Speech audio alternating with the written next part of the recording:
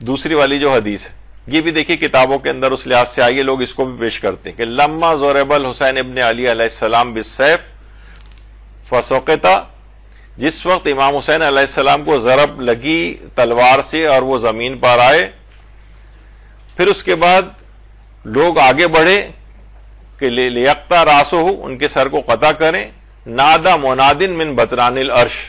उस वक्त एक निदा दी एक हातिफ गैबी ने अर्श से अला अयतुहल उम्मतुल मुतहयरतुल्ला बादा नबिया ए, भटकने वाली शक्को शुबे में भटकने वाली जालिम कौम रसूल अल्लाह के बाद, ला वफ़कुम अल्लाह अल्लाह तुम्हें तोफीक ना दे, ना ईद अजहा की, ना ईद फितर की। और कहा कि ये उस वक्त तक उनको तोफीक नहीं मिलेगी हत्या युसारो बेसारिल हुसैन, जब तक इमाम हुसैन के खून का बदला न ले लिया जाए। तो ये कहते हैं कि देखिए, इस रिवायत के अंदर ये चीज़ आई है। अच्छा अब इसके अंदर देखिए क्या है कि जिस वक्त इमाम हुसैन को जरब लगा के कि वो ज़मीन पर आए, तलवार से जरब लगी और लोग उनके सर अकदस को काटने के लिए दौड़े तो उस वक्त अर्श से आवाज़ आई किन लोगों के लिए आवाज़ आई? अच्छा ये लोग कहते हैं, देखिए, आप, ये इसका मतलब ये कि इन लोगों को कभी भी ईद उल फितर की इन लोगों को तौफीक नहीं मिलेगी। इसका मतलब ये है कि अब ईद उल फितर नहीं है। ये किन लोगों के लिए कहा है? वो जो सर काटने के लिए आए थे और आसमान से उन लोगों के लिए बात आई थी कि जो के अयतुहल उम्मतुल मुतहयरतुल्ला बादा नबी रसूल अल्लाह के बाद वो गुमराह उम्मत के जिन्होंने इमाम हुसैन के कत्ल का इरतकाब किया और उनके ऊपर मजालिम ढाए, ऐसे लोगों को कभी नसीब नहीं होगी। इसका मतलब है कि जो अफराद इस किस्म का, जो ईद उल फितर बाद में नहीं मना रहे उनको नसीब नहीं हो रही है। वो अपना शुमार उस कौम के अंदर कर रहे हैं जिसने इमाम हुसैन को कत्ल किया था। ये तो उल्टा आपके अपने खिलाफ जाती है ये वाली रिवायत। अच्छा अब देखिए, ये मल्ला याजरुल फकी के अंदर भी ये वाली रिवायत है। ये वो इससे पहले जो मैंने आपको अभी पढ़ के सुनाई थी कि अब्दुल्ला इबन लतीफ़ तिफलीसी ने इसमें देखिए जरीन लिखा हुआ है। जरीन बल्कि रजीन से रिवायत है कि इमाम जाफ़र सादिक ने फरमाया कि जब इमाम हुसैन पर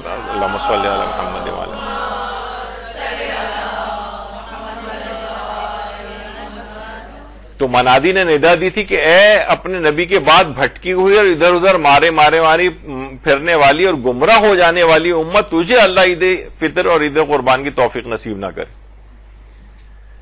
और इसका लाजमी नतीजा हुआ कि खुदा की कसम, ना तो अब इन लोगों को ये तोफीक नसीब हुई, ना आइंदा, जबकि इमाम हुसैन का खून का इंतकाम लेने वाला ना आ जाए, उस वक्त तक उनको तोफीक नहीं मिलेगी।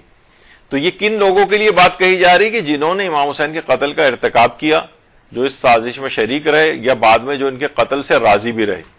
यही वजह है कि ये सब रिवायात जो हैं, ये असलन हम हम आपके लिए नहीं आई हैं, बल्कि नवासिब के लिए आई हैं, दुश्मनान अहल के लिए कातिलान के लिए आई हैं।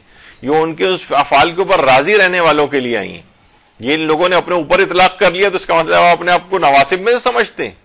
जबकि खुद रिवायत के अंदर अपने अल्फाज हैं कि, ए जालिम और नबी की इतरत को कत्ल करने वाले लोगों। उन लोगों से खिताब है ये। ये अभी देखिएगा, ये आप, ये पोस्टें इसकी बननी शुरू होंगी, आने वाली होंगी। ईद के करीब के दिनों में। तो रिवायत नवासिब से मुतल है। मुल्ला मोहसिन फैज काशानी हमारे बहुत बड़े आलिम गुजरे हैं, फरमाते हैं, ये रिवायात जालिमीन, कातिलीन और उनके फेल पर राज़ी रहने वाले अफराद से मुतल है। ये उन अफराद से भी मुतल हैं, अभी भी, कि जो कि अभी भी ये जो हैं, आपने देखा होगा, यजीद रज़ी अल्लाह कहने वाले भी कितने अफराद जो हैं वो आ गए हैं। और जो दुश्मना ने अहले बैत हैं, उनके नाम के साथ भी सब अलकाबात लगा के उनके लिए सॉफ्ट कॉर्नर्स पैदा करते हैं। और ये भी रिवायात के अंदर बात आई है कि देखिए लोग अब आइमा की देखिए शख्सियात ऐसी कि लोग उनको खुल्लम खुल्ला बुरा नहीं कह सकते बोझ रखने के बावजूद नहीं कह सकते। तो क्या क्या करते हैं? वो सॉफ्ट टारगेट किनको बनाते हैं? शियों को बनाते हैं।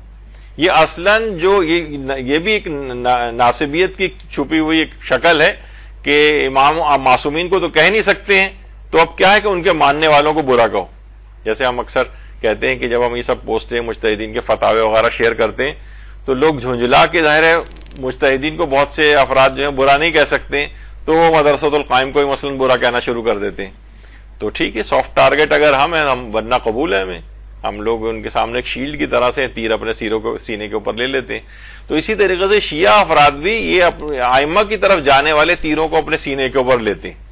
तो बहरहाल ये रिवायतें जो आई भी हैं इस तरह की कि वो उस मनादी ने निदा दी थी, ये कातिलीन, जालिमीन उनके अफाल से राज़ी रहने वाले अफराद के मुतालिक आई देखिए, एक बात और भी दिमाग में रहे कि आम गैर शिया अफराद ये नवासिब नहीं।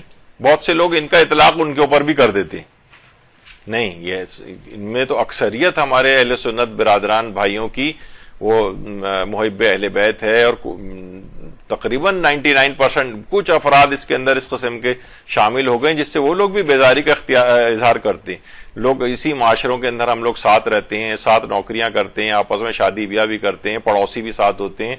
बेहतरीन अच्छे ताल्लुक हैं। सिर्फ़ चंद, एक आपको पता है, गंदी जो सड़ी हुई मछली होती है, पूरे तालाब को खराब करती है, उस तरह के कुछ अफराद ऐसे हैं। लेकिन आम गैर शिया अफराद को उस जुमरे के अंदर शुमार नहीं करना चाहिए। तो वो अगर आपको वो करते नज़र भी आ रहे हैं लोग कहते हैं, भाई देखिए, वो रिवायत के अंदर भी खैर अभी आगे चलकर तस्कर आएगा, जो असूल काफ़ी में इमाम मोहम्मद तकी जवाद अलैहिस्सलाम की जो रिवायत है.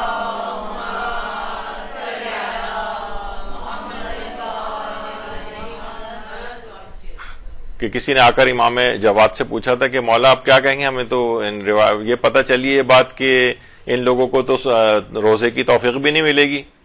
तो इमाम ने कहा, असल में एक फरिश्ते की एक दुआ इस सिलसिले में कबूल हो चुकी है। उन्होंने पूछा, मौला, वो कैसे कहा कि जिस वक्त इमाम हुसैन को कत्ल किया गया था तो अल्लाह के हुक्म से एक फरिश्ते ने उस वक्त एक निदा दी थी। अयत हल उम्मत ालिमतुल कातिलत इतरत नबी यानी, उस वक्त फरिश्ते ने अल्लाह की तरफ़ से निदा दी थी, फिर आगे ये कहा कि ला वफ़ाकुम सोमिन वला फतरिन, वला फितरिन। वफ़ी हदीस आखिर एक और हदीस में आए फितरिन वला अजहा। यानी, खुदा इस कौम को तोफीक न दे उन अफराद के लिए किसको? उम्मत ालिमा कातिला इतरत नबिया के लिए इमाम ने कहा है। यानी ये आम के, के लिहाज से नहीं जिन लोगों ने उन्होंने कत्ल किया था उनके लिए खुद इमाम जवाब कह रहे हैं उन लोगों के लिए आई है। और तोफीक ऐसे अफराद को ना मिलना अब हमें जो इस किस्म के अफराद हैं वो आमतौर पर हमें नहीं लगता कि वो जो है वो अगर बाहिर नमाज़ नमाज़ पढ़ते भी नहीं है, ना रोज़े उस लिहाज से रखते होंगे, या रख भी लें तो इसके एक मायने ये होंगे कि उनके रोज़े कबूल नहीं होंगे। यानी बाहिर अगर वो इबादत करते हुए भी आपको नज़र आ रहे हैं। तो ये इसका वो मफहम बिल्कुल भी वो नहीं है कि लोग ईद ना बनाएँ बल्कि उन अफराद को ये तोफीक नहीं मिलेगी या उनकी इबादत कबूल नहीं होंगी कि जो कि इमाम हुसैन के कत्ल में शामिल थे या उनके इस फेल से राज़ी रहे।